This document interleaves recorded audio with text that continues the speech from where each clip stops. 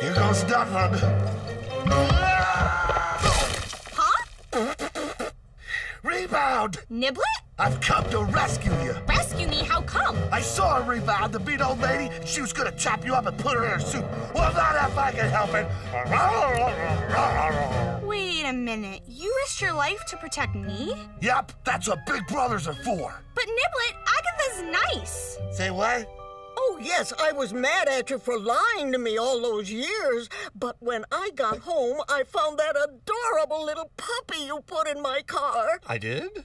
Um, that's right, I did. Because you don't really hate dogs? Well, I always assumed I did, but this puppy is so bouncy and full of life. She makes me feel young again. Now I see just how important your job really is.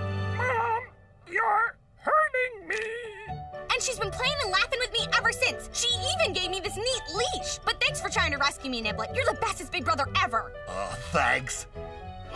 I gotta get out of here. But first, here, sis. What's a pound puppy? Always a pound puppy. Thanks, big brother. I'll wear it for sure next time I see you. Next time? What do you mean next time? Well, now that I'm a McLeish, I'll be coming back to the pound forever and ever and ever and ever. Right? Right? Right?